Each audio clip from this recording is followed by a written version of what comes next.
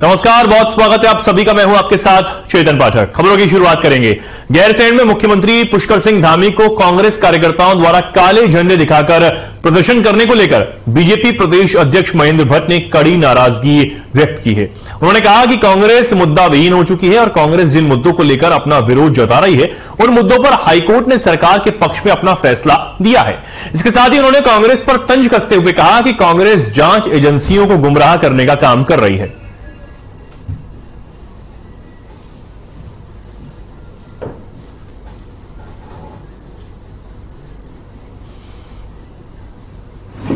कांग्रेस मुद्दा विहीन हो चुकी है। जब मुद्दे नहीं होते तो उन मुद्दों को कुरदने काम किया जाता है, जो जिन पर जांचें चल रही होती है। स्वयं हाईकोर्ट ने अंकिता भंडारी हत्याकांड के विषय पर बहुत स्पष्ट रूप से और खास नकल विरोध अध्यादेश के ऊपर और नकल विरोधी जो घटनाक्रम उसके ऊपर स्पष्ट कहा है कि सरकार की एजेंसी अच्छा काम कर रही है। और मुख्यमंत्री जी ने भी कहा है कि नकल विरोधी जो जो इस प्रकार से लोग पकड़े गए नकल के संदर्भ में, उस विषय की एजेंसी, अगर कहीं पर उसकी एजेंसी में जाँच में कोई कमी पाई जाएगी तो दूसरी जाँच के लिए सरकार तैयार है।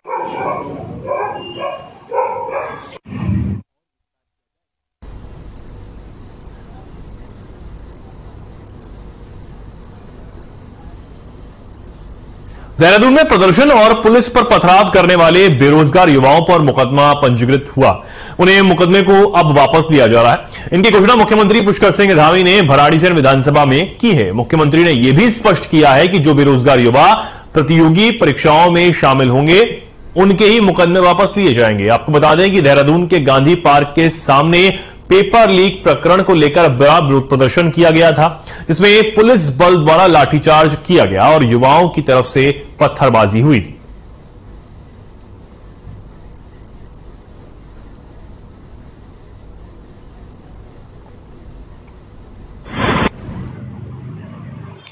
माननीय मुख्यमंत्री पुष्कर सिंह धामी जी ने लाठीचार्ज को दुर्भाग्यपूर्ण बताया। उससे हम यही अंदाज़ा लगा सकते हैं कि वास्तव में ये दुर्भाग्यपूर्ण घटना थी जिस प्रकार से छात्रों पर बर्बरतापूर्वक लाठीचार्ज हुआ। जो संगठन के लोग थे और जो आंदोलन बच्चे थे छात्र थे उनके ऊपर जिस प्रकार से मुकदमे हुए थे और जो लाठीचार्ज हुआ था वो माननीय मुख्यमंत्री जी ने उसको दुर्भाग्यपूर्ण बताते हुए आ, वो स्थिति दोबारा ना आए और एक संदेश के साथ में बहुत बड़ा डिसीज़न लिया है कि ताकि छात्रों के भविष्य के साथ में किसी भी तरीके से गलत ना हो। तो सभी मुकदमों को वापस लेने का निर्देश दिया है और साथ में ही जिस प्रकार से बॉबी पवार ने आभार जताया है और पूरी चीज़ को देखते हुए माननीय मुख्यमंत्री जी पे एक ट्रस्ट और विश्वास विश्वास दिखाया है उसके लिए हम लोग उनका धन्यवाद करते हैं।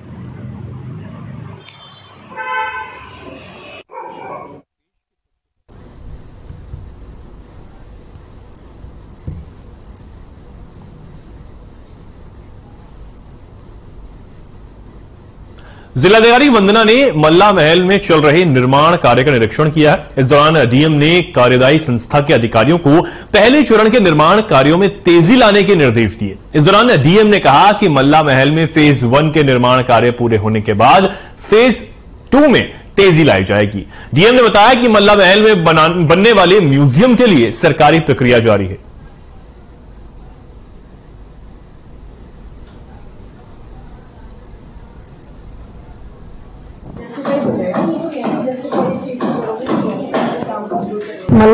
का कार्य काफ़ी लंबे समय से फ़ेज़ वन का कार्य यहाँ चल रहा है, जिसका रूटीन इंस्पेक्शन समय समय पे यहाँ हम लोग करते रहते हैं। पिछली बार जो निरीक्षण किया था उस वक्त फ़ेज़ वन के कार्य की प्रगति थोड़ा धीमी थी।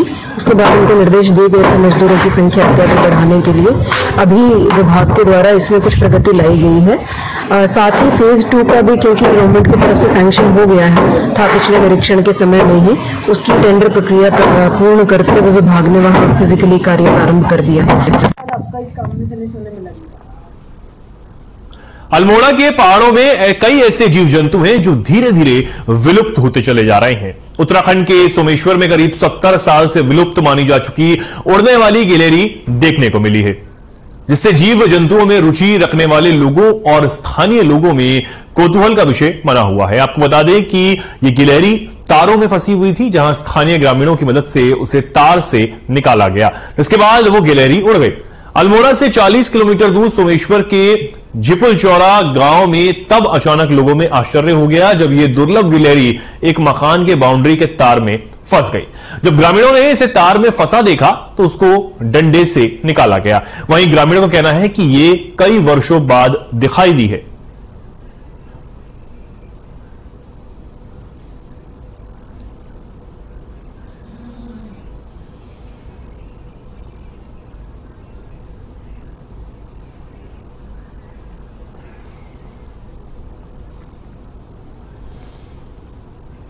खबर चमोली ज़िले से है, जहाँ ज़िले के गोपेश्वर मुख्यालय की आज शहरी विकास विभाग के तत्वाधान में नगर पालिका सभागार गोपेश्वर के नेगवाड में प्लास्टिक एवं ठोस अपशिष्ट प्रबंधन विषय पर गोष्ठी का आयोजन किया गया, जिसमें स्थानीय लोगों के द्वारा प्रतिभाग किया गया।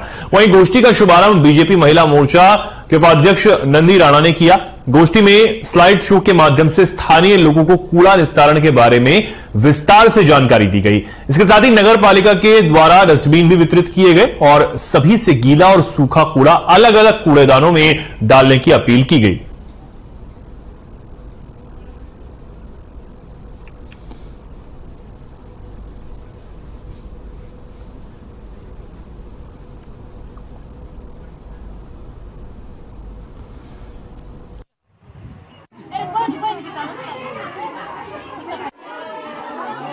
सबसे पहले तो हमारी नगर पालिका जो है, कचरा प्रबंधन आधारित जो है, जागरूकता कैंपेन जो है, चला रही पिछले जो है पिछले सप्ताह से।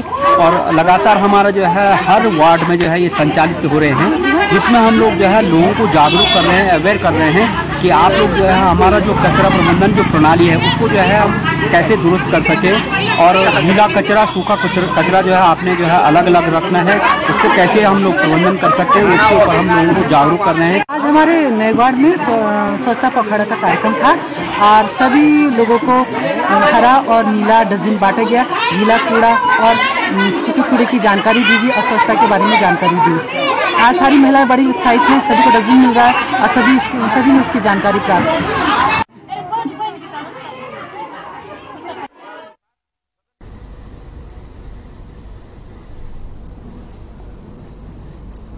यहाँ पर गोष्ठी का आयोजन किया गया इसमें स्थानीय लोगों ने प्रतिभाग किया। कूड़ा निस्तारण के बारे में लोगों को जानकारी दी गई। जिसमें डस्टबिन भी वितरित किए गए और लोगों से अपील की गई कि गीला और सूखा कूड़ा अलग अलग डस्टबिनों में डालें। हरीश रावत उत्तराखंड की राजनीति का वो चेहरा है जो राजनीति से दूर नहीं रह सकता। लेकिन पिछले दिनों पूर्व मुख्यमंत्री हरीश रावत ने सोशल मीडिया पर एक पोस्ट डाला था कि सक्रिय राजनीति से दूरी बनाने का काम करेंगे। वहीं अब हरीश रावत का साफ़ तौर पर कहना है कि वो राजनीति से दूर नहीं जा रहे हैं, बल्कि पीछे होकर युवाओं को आगे बढ़ाने का काम करेंगे।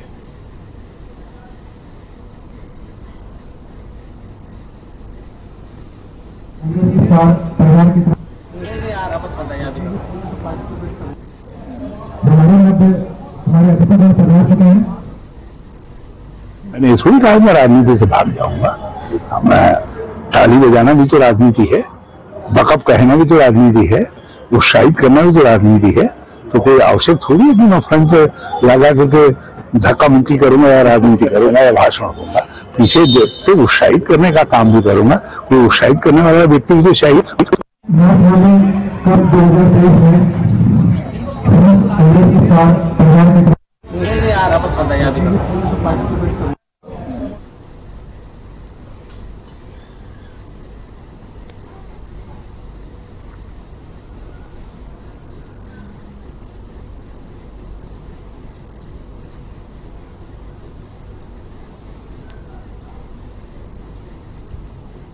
हल्द्वानी में पुलिस और एसओजी टीम को बड़ी कामयाबी मिली है, जहाँ काठगोदाम थाना पुलिस और एसओजी टीम ने गोलापार के खेड़ा क्षेत्र से 102 ग्राम स्मैक के साथ एक तस्कर को गिरफ़्तार किया है।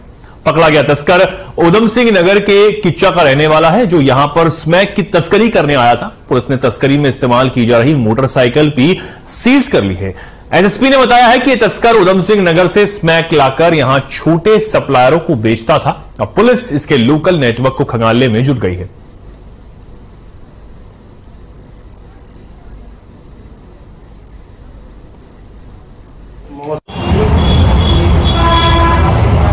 चल रही थी तो उस दौरान जो है आपका मोटरसाइकिल में सवार व्यक्ति था, इसके द्वारा हेलमेट भी पहना गया था उसमें वापस की पुलिस उसको रोक करके जब इससे पूछताछ की तो उसके बैग में तलाशी के दौरान आपका ऐसे विवरण स्मैक निकली ये मोहम्मद आरिफ पीछा दरों का रहने वाला है और उसने पूछताछ में बताया है कि मोहम्मद शरीफ जो शिदारगंज का है उससे ये भेज करके लाया था और यहाँ जो लोकल पेट्रोल है उनको बेचने आया था।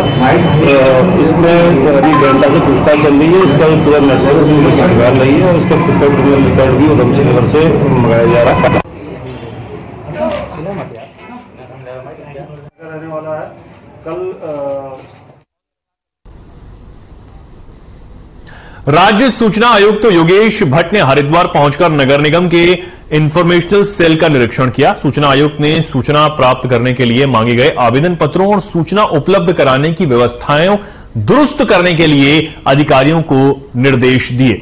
सूचना आयुक्त तो योगेश भट्ट ने कहा कि सभी लोग सूचना अधिकारियों को स्पष्ट निर्देश दिए गए हैं कि सूचना का अधिकार अधिनियम के तहत मांगी गई सूचनाओं को तय समय के अंदर उपलब्ध करवाएँ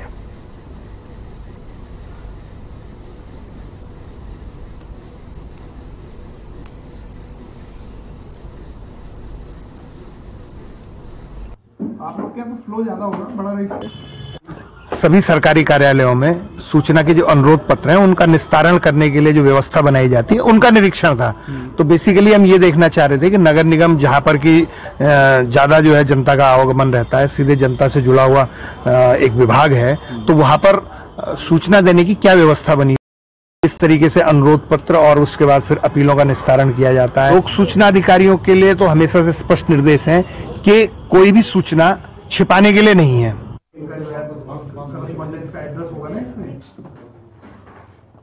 आप लोग क्या तो फ्लो ज़्यादा होगा? बड़ा रही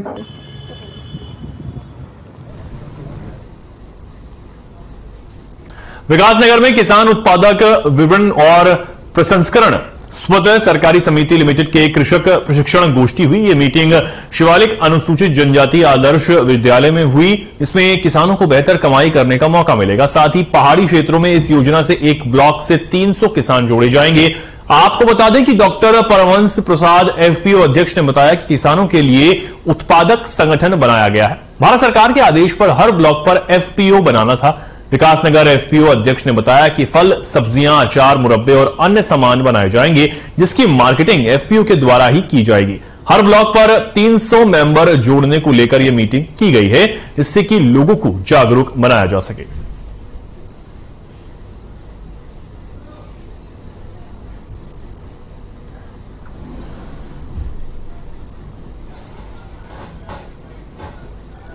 विकासनगर में किसान उत्पादक ये पीओ बना है, जो कि भारत सरकार की गाइडलाइन से हर ब्लॉक में एक एपीओ बनाना था। जिसमें हम लोग बना रखे हैं यहाँ मैं एफपीओ का अध्यक्ष हूँ, और इसमें मैं सब्ज़ी का फल पे प्रोडक्शन एंड मार्केटिंग एंड प्रसंस्करण अचार मुरब्बा, ये सब बनाना है इस पर इसी पे आप लोग तीन सौ मेंबर जोड़ के हम लोग मीटिंग कर रहे हैं। उनको जागरूक बनाना है कि मतलब हमें तीन सौ से भी ज़्यादा किसान भी जोड़ना है उसमें ही आप जो है जो पैसा देते हैं वो उसमें तो हम इसमें एक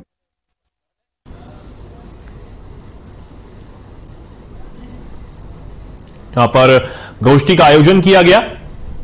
इसमें कृषक प्रशिक्षण गोष्ठी का यह आयोजन था।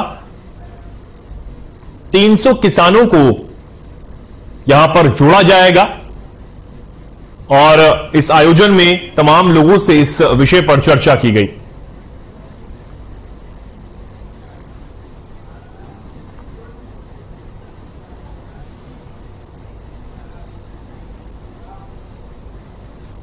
थराली के नारायण बाग में परखाल बाज़ार में जिला सहकारी बैंक की शाखा खुलने से लोगों को राहत मिली है। शाखा का उद्घाटन समारोह शनिवार को आयोजित किया गया, जिसमें जिला सहकारी बैंक के अध्यक्ष गजेंद्र सिंह रावत थराली विधायक भूपाल राम टम्मा, पूर्व विधायक मुन्नी देवी शाह, जिला सहकारी बैंक के महाप्रबंधक सिंह, ब्लॉक प्रमुख यशपाल सिंह नेगी, विधायक प्रतिनिधि दिलीप सिंह नेगी, जिला सहकारी बैंक नारायण बागड़।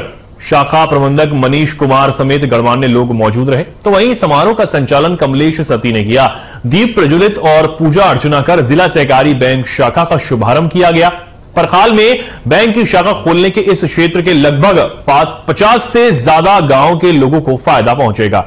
अभी तक इस क्षेत्र के लोगों को 50 किलोमीटर दूर जाना पड़ता था। इसमें बैंक कार्यों को लेकर यहाँ पर वो लोग इतना दूर जाते थे। अब जिला सहकारी बैंक की शाखा खुलने से लोगों को इतने किलोमीटर का सफ़र तय नहीं करना पड़ेगा।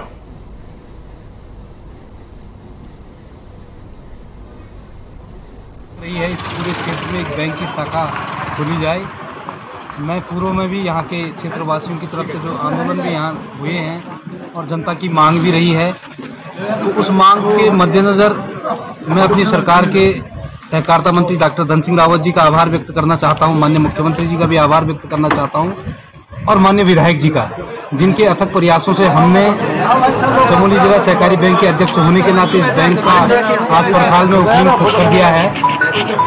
और मुझे लगता है कि इस बैंक की शाखा खोलने से इस क्षेत्र वासियों को बैंकिंग सेवा का लाभ मिलेगा। सहकारिता मंत्री का हृदय से आभार व्यक्त करना चाहता हूँ कि उन्होंने इस क्षेत्र की एक बहुत लंबे समय से जो मांग थी जो इस क्षेत्र की ज़रूरत थी उसको पूरा करने का जो काम किया।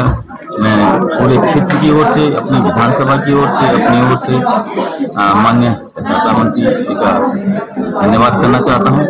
और मैं समझता हूँ कि इस क्षेत्र की जो हमारे तैतीस चौतीस गाँव हैं, इन गाँवों की बहुत लंबी समय से मांग है। धन्यवाद करना चाहती हूँ, महामंत्री रावत का, विधायक जी का, विधायक जी का धन्यवाद करना चाहते हैं मेरे क्षेत्र में।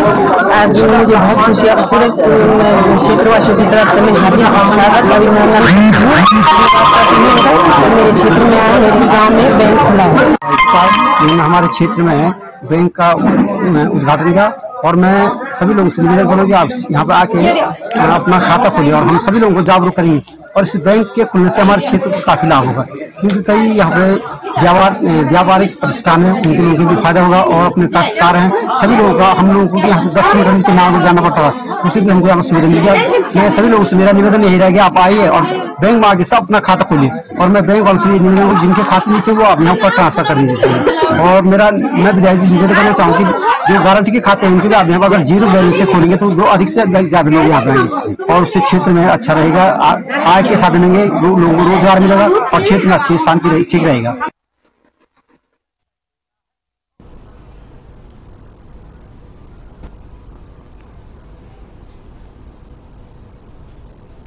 पूर्व मुख्यमंत्री हरिद्वार से वर्तमान सांसद रमेश पोखरियाल निशंक ने धामी सरकार के बजट की जमकर तारीफ़ की है। निशंक ने कहा कि सरकार ने आम जनता को ध्यान में रखकर बजट बनाया है, जिसमें हर वर्ग का ख्याल रखा गया है। उन्होंने कहा कि शिक्षा, स्वास्थ्य और रोज़गार पर धामी सरकार ने विशेष फोकस किया है। आपको बता दें कि प्रदेश सरकार के बजट के प्रचार प्रसार के लिए बीजेपी प्रदेश भर में प्रेस कॉन्फ्रेंस कर बजट की तारीफ़ कर रही है। इसी कड़ी में पूर्व मुख्यमंत्री और हरिद्वार सांसद रमेश पोखरियाल निशंक ने प्रेस कॉन्फ्रेंस कर धामी सरकार के बजट की जमकर तारीफ़ की। उन्होंने कहा कि राज्य सरकार संसाधनों को बढ़ाने के लिए प्रयासरत है। स्टार्टअप के माध्यम से प्रदेश के युवा तरक्की को छुएँगे। सीएम प्रोत्साहन योजना में 11 करोड़ की धनराशि बजट में है। साथ ही उन्होंने यह भी कहा कि किसान पेंशन योजना में 35 करोड़ का प्रावधान किया गया है।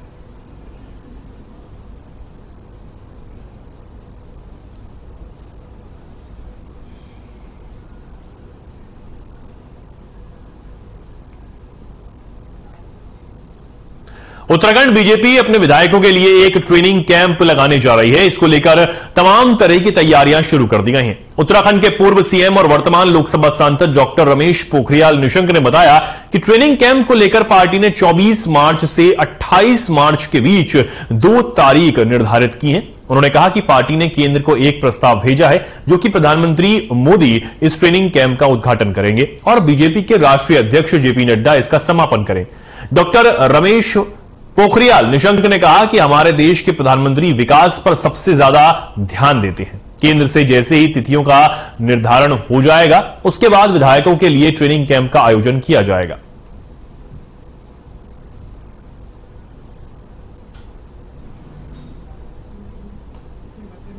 हमारे देश के प्रधानमंत्री, आपको मालूम है कि उनका विकास पर सबसे ज़्यादा ध्यान देता है। और जहाँ से यात्रा शुरू की थी उन्होंने 2014 में सबका साथ, सबका विकास। लेकिन अब सबका विश्वास और सबका प्रयास की आधारशिला और तेज़ी से बढ़ रही है। ये देश ने नहीं, पूरी दुनिया ने जाना है कि यदि बोला है, सबका साथ, सबका विकास वो किया है। और अब उसी की आधारशिला पर और नए सृजन की दिशा में आगे बढ़ रहे हैं। इसलिए सभी राज्यों के विशेष करके भारतीय जनता पार्टी शासित राज्यों के मुख्यमंत्री और विधायकों के साथ, मंत्रियों के साथ लगातार प्रधानमंत्री संवाद भी करते हैं। और इससे अच्छी क्या बात हो सकती है कि देश के प्रधानमंत्री इतनी रुचि लेते हैं कि वो विकास की दिशा में किस तरीके से इस राज्य, आप कर क्या रहे हैं, क्या हो सकता है, केंद्र सरकार क्या मदद कर सकती है। इस तरीके का जो उनका विजन है और उनका अपने ढंग से विजन है। उत्तराखंड तो हम सौभाग्यशाली हैं कि उत्तराखंड से देश के प्रधानमंत्री नरेंद्र मोदी जी का बेहद लगाव है, आंतरिक लगाव है।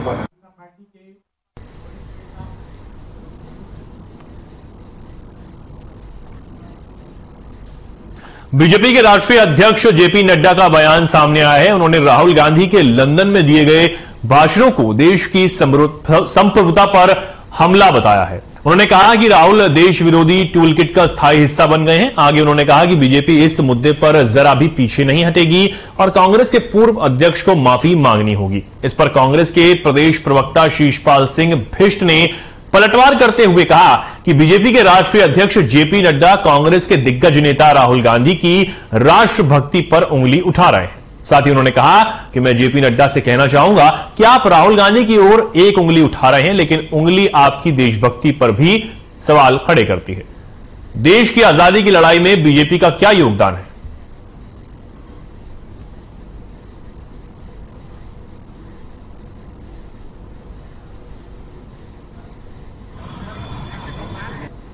भारतीय जनता पार्टी के राष्ट्रीय अध्यक्ष जेपी नड्डा, आदरणीय राहुल गांधी जी की राष्ट्र भक्ति पर जो है उंगली उठा रहे हैं। मैं जेपी नड्डा जी से कहना चाहूँगा कि आप राहुल गांधी जी की ओर एक उंगली उठा रहे हैं तो तीन उंगली आपकी देशभक्ति पर भी सवाल खड़े करती हैं।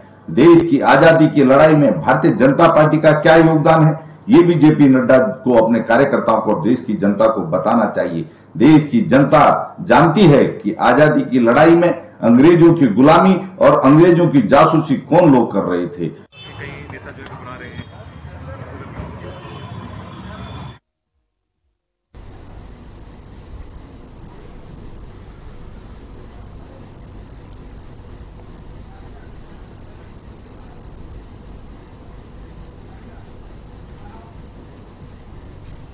खबरों में फ़िलहाल के लिए इतना ही। नमस्कार।